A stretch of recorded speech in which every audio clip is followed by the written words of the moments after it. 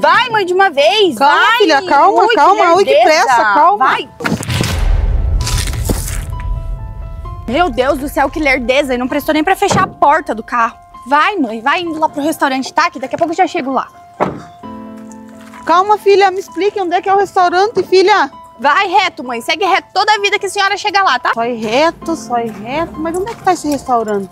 Ai, perdi meu emprego, meu Deus. E agora como que eu vou fazer pra pagar todas as minhas coisas? Ai, meu Deus do céu, não aguento mais de fome.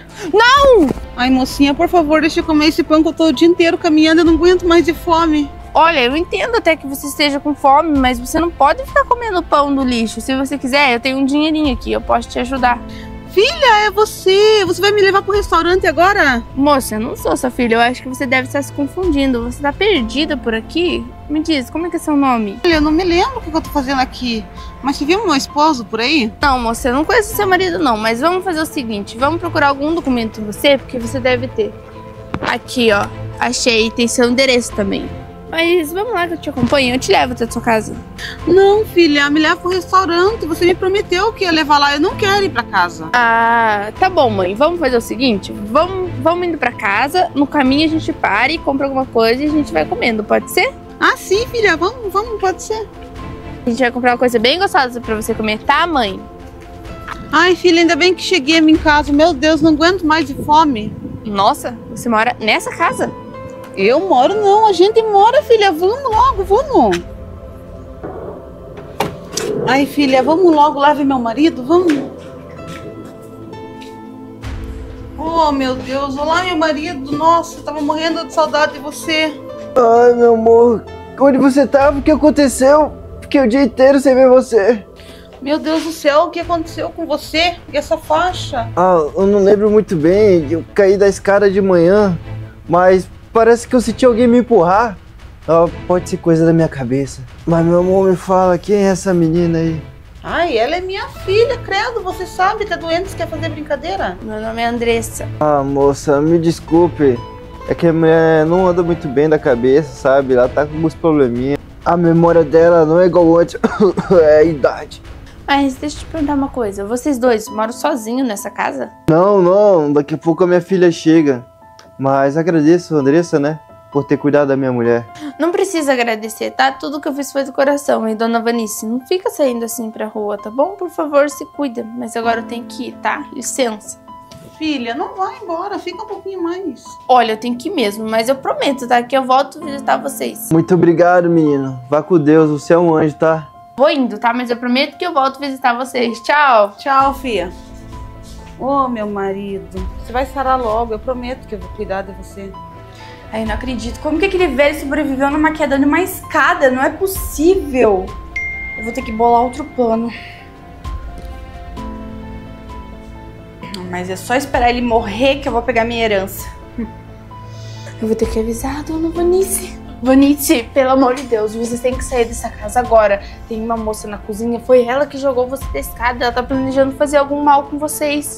Claro que não, Andressa. Ela é nossa filha, ela que cuida de nós. Ela jamais faria uma coisa dessa com a gente. É tudo mentira dela. Isso não é. mãe, tô indo levar um chazinho pra vocês tomar. Não tomem esse chá, não tomem. O que que tá acontecendo aqui? Quem que é essa mulher aqui no quarto de vocês? Calma, filha. Essa enfermeira que eu contratei pra cuidar da gente. Mas quem mandou chamar a enfermeira? Quem deu ordem pra isso? Calma, filha, a gente só contratou uma enfermeira porque não queremos ser um peso pra você. Ah, mas quem disse que eu preciso da ajuda? Eu não preciso de ajuda pra cuidar de vocês. Eu faço isso. Agora peguem essa asinha aí, ó, e toquem daqui, tá? Agora vocês dois peguem essa xícara de chá, tá? Porque eu não fiz à toa isso. Não, não, não. Eles não vão tomar chá agora, tá? Eu acabei de dar um remédio pra eles. Eles vão descansar um pouco. Eles não podem beber nada. Tá, mas e você tá pensando que é quem, mocinha? Você acabou de chegar agora e quer sentar na janela já? Olha, eu sou enfermeira, tá? E eu sei muito bem o que eu faço. Não fala assim com a minha filha, tá escutando, Gabi? Mas, mãe, você tá esquecendo das coisas. A sua filha sou eu, não essa aí. Filha? Minha filha é ela, eu nem te conheço. Você não é a mulher que cuida do meu marido? Olha, Vanice, não é bom, tá? A gente ficar discutindo aqui na frente do seu marido também. Então vai lá pra sala, descansa um pouquinho, tá? Que eu vou conversar com a Gabi e eu já vou lá, tá bom? Tá bom. Olha, eu encontrei ela na rua, não tava numa situação muito boa, ela tava comendo comida do lixo, aliás. Aí então encontrei uma carteirinha que tinha um endereço, trouxe ela pra casa. Chegando aqui, o marido dela me contratou como enfermeira para poder cuidar melhor deles. E realmente eu sou enfermeira e eu fui contratada para cuidar dos dois. Então, você querendo ou não, eu vou ficar aqui na casa e eu vou cuidar deles. Agora licença que eu tenho que colocar meu uniforme. Olha, Andressa, queria agradecer você por estar aqui ajudando e cuidando da gente. Minha filha, você sabe que agora você vai cuidar da gente para sempre, até nossos últimos dias. Olha, eu tenho que agradecer vocês pelo serviço, porque para mim foi uma benção, eu tava precisando muito e para mim tá sendo ótimo cuidar de vocês. Eu considero vocês até como meus pais, até porque eu nunca conheci eles e eu tenho um amor e um carinho enorme por vocês. Olha, então a partir de hoje considere nós como um pai e mamãe. Minha mulher tá muito feliz de ter você aqui. Olha, Andressa, você foi a filha que a gente não teve, sabia? Nossa, Vanessa, eu fico pensando onde foi que a gente errou, né? Porque nossa filha não quer a gente, ela quer que a gente morra pra ficar com a herança. Ai, pois é, né? Mas se a gente pudesse dar uma lição nela, né, pra ver se ela cai na real. Olha, eu tenho um plano, é uma ideia muito boa. Eu acho que se a gente fizer isso com ela, ela vai começar a valorizar vocês, porque ela só vai ver a foto que vocês fazem quando vocês não estiverem mais aqui. Ah, mas como assim um plano? Qual a sua ideia? Conta pra gente. Olha, eu tenho um amigo que é policial, eu posso explicar tudo pra ele. Vai que ele pega ela e dá uma prensa. Assim ela vai começar a valorizar vocês, porque ela vai ficar com medo. Olha, isso pode dar certo, sim. Mas eu não quero que a minha filha fique presa. Eu não quero que aconteça nada de errado com ela. Olha, Vinícius, eu sei que não, mas ela já te abandonou na rua, empurrou o pai dela da escada e vai que uma hora ela consegue fazer alguma coisa pra vocês. E se não fosse eu tá aqui, ontem mesmo era pra vocês terem morrido. Então vamos tentar essa ideia pra ver se ela vai cair na real. Eu acho que essa é a única forma que a gente tem de fazer ela valorizar vocês. Ai, Andressa, então vamos. Ligue pro seu amigo. Tá bom, então pode deixar que eu vou ligar pra ele, licença. Oi, Jonathan. Com licença, delegado, tudo bom? A dona Gabriela que o senhor mandou buscar tá aqui já. Muito obrigado, James. Gabriele, pode sentar. James, pode sair. Tudo bom, seu delegado? Pode falar o que tá acontecendo, que foram me buscar lá em casa e eu nem sei o que eu tô fazendo aqui. Tudo bom, Gabriele? É, quem mandou buscar você fui eu, tá? A gente teve uma denúncia sobre você. Você tá maltratando seus pais. E assim, eu te chamei aqui pra gente conversar, porque se ficar desse jeito, eu vou ter que prender você. Mas como assim, delegado? Eu não tô entendendo. Eu amo muito meus pais, eu cuido muito bem deles. Eu não sei o que tá acontecendo aqui. Olha, quando essa informação chegou até mim, eu dei uma pesquisada, eu fui investigar. Afinal de contas, é meu trabalho, né? Eu vi que você já conversou com o advogado.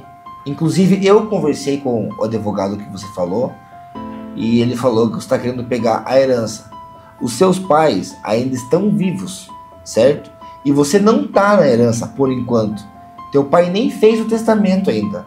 Então, assim, tudo que me falaram, com as provas que eu juntei, tá batendo tudo certinho.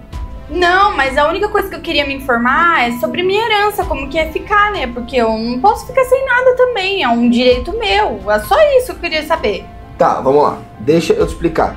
Direito teu não é, certo? Porque o teu pai não te colocou no testamento. Então você não tem direito a nada. Se ele falecer, se ele vier a óbito, você não vai ter nada. Entendeu? E assim, ele tá vivo. Eu soube que você empurrou ele da escada. Não deu provas pra te acusar. Porque se eu tivesse, você estaria presa agora, nesse exato momento. Entendeu? A enfermeira que tá trabalhando lá agora, a Andressa, ela é minha amiga, ela que trouxe esse caso pra mim. Eu conversei com a tua mãe, você abandonou a tua mãe, ela me confirmou já. Você falou que ia levar ela no restaurante, algo do tipo, abandonou ela. Ela tava na rua, comendo lixo. Então assim, eu vou te avisar uma vez só, tá? Essa é a nossa última conversa. Se mais uma vez chegar uma queixa de você aqui, você vai presa e vai ficar um bom tempo. Porque se você não sabe, eu vou te explicar, tá? Você não sabe o que eles fazem com você na cadeia. Gente que maltrata pai e mãe. Você não tem nem ideia. Então que essa aqui seja a nossa última conversa. Porque se eu te ver de volta, vai ser pra te levar presa. Seu delegado, eu prometo que isso jamais vai acontecer, tá? Eu não quero ir presa, eu não quero que aconteça essas coisas comigo, não, tá? Foi só um ocorrido ali por causa da herança, mas tá tudo certo já. Tá bom, vou acreditar em você, tá? Dessa vez. Mas esteja avisada. Eu tenho olhos em todos os lugares, tá? Se você ousar fazer alguma coisa pro teu pai e pra tua mãe, eu vou prender você. Agora pode sair da minha sala. Não, eu já tô saindo, tá? Não se preocupe. Tá, vai, vai embora. Onde já se viu maltratar pai e mãe. Pessoal, se você gostou desse vídeo, deixa nos comentários aí, tá? E pra você que não respeita teu pai e tua mãe, eu tô de olho, hein? Eu vou prender você. Até a próxima.